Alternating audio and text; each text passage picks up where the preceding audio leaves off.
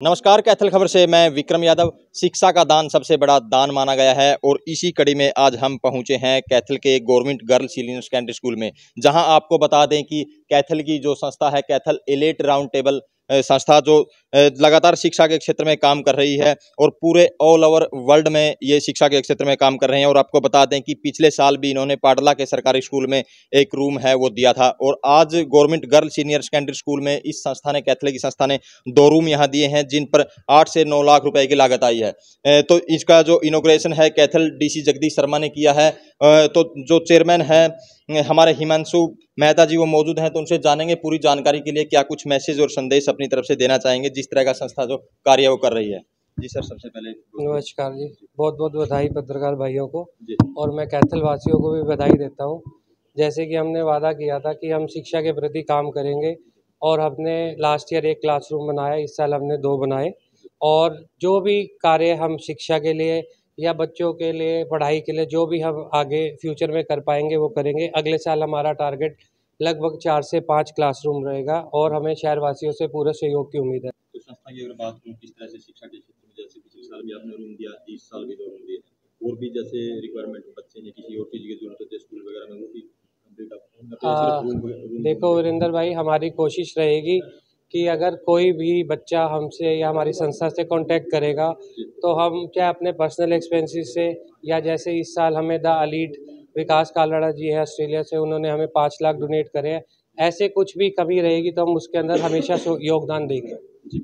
तो ये थे हिमांशु मेहता जी, जो चेयरमैन हैं the Kaithal elite round table संस्था के। तो अब जो गौतम मिगलानी जी, उनसे बातचीत करेंगे कि क्या कुछ अपनी तरफ़ से वो कहना चाहते हैं। नमस्कार। मेरा नाम गौतम मिगलानी है और मैं अभी वाइस चेयरमैन हूँ इस क्लब का और फ़र्स्ट जुलाई से हमारा जैसे कि नया टेन्योर शुरू हो रहा है। अभी इस साल हमने दो क्लासरूम बनाए हैं और ये बड़ा ही अच्छा थॉट प्रोसेस था। इसके अंदर सभी के सभी तेईस मेंबर्स की इन्वॉलमेंट रही और सबने एक साइट ऐसी चूज़ करी कि जहाँ पर एक रिक्वायरमेंट थी क्लासरूम की।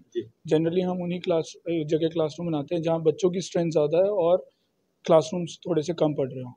और हम चाहते हैं कि ऐसे क्लासरूम हैं जो बच्चों को ये ना लगे कि हम कई दूसरे स्कूल से वहाँ से कम हो। इसलिए हम जैसा कि आप देख सकते हैं यहाँ का कलर कॉम्बिनेशन और जिस तरह के क्लासरूम्स है वो हमने नेक्स्ट अच्छे लेवल के बनाए हैं। और अगले साल भी हमारी यही मेहनत रहेगी कि हम ऐसे स्कूल्स के अंदर जहाँ पे रिक्वायरमेंट है जहाँ पे बच्चों को बाहर बैठ के ना पढ़ना पड़े वहाँ पे हम क्लासरूम्स बनाए। चाहे वो दो हो चार हो छः हो वो उसी मौके के ऊपर होता है। कि किसी क्लास किसी स्कूल में दो क्लासरूम्स की ज़रूरत होती है किसी में चार की ज़रूरत होती है जो भी ज़रूरत होगी हम उसे पूरा करेंगे। संस्था का मेन मोटो संस्था का main motto to do all the community activities like we do lot of charities और हम एक सोशल अवेयरनेस करते हैं।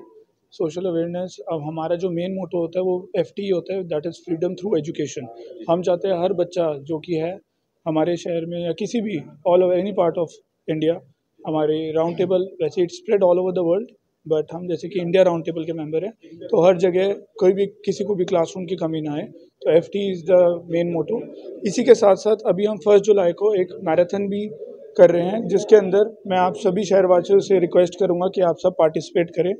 उस मैराथन के थ्रू हम एक फंड रेज कर रहे हैं for the school of disabled children उसके अंदर 105 बच्चे हैं, और we are doing this marathon for the first time और कैथल में भी एक फ़र्स्ट टाइम मैराथन हो रही है।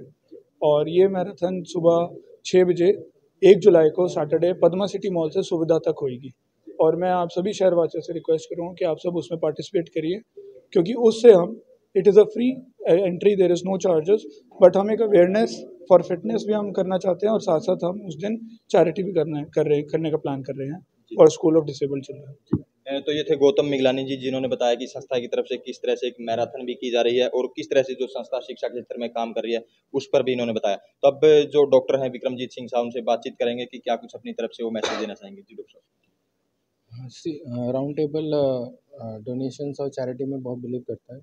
और जो ये हमारा इनिशिएटिव है एजुकेशन जो की तरफ़ समर्पित समर्पित है।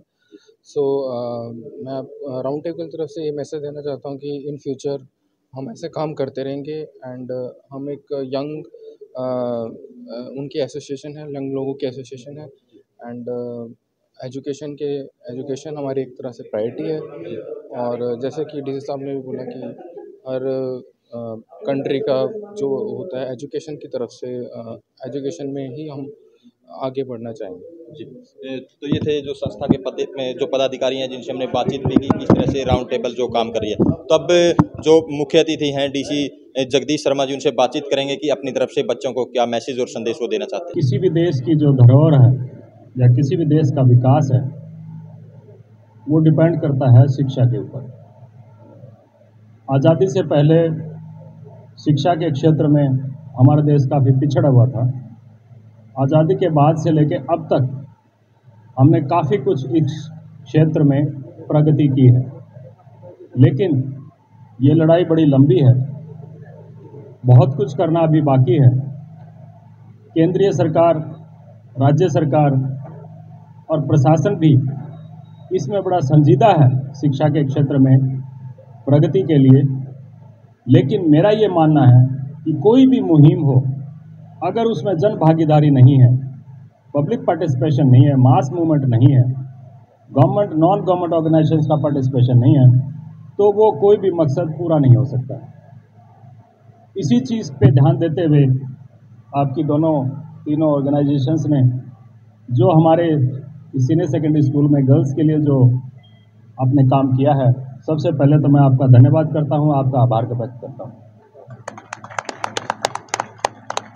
दूसरा, आपसे और सभी संस्थाओं से, सरकारी गैर सरकारी एन जी ओज स्वयंसेवी संस्थाओं से ये अपील भी करता हूँ कि जैसे जैसे मौका मिले तो हमें शिक्षा के क्षेत्र में अपना योगदान ज़रूर देना चाहिए और खासकर बालिकाओं की शिक्षा के बारे में।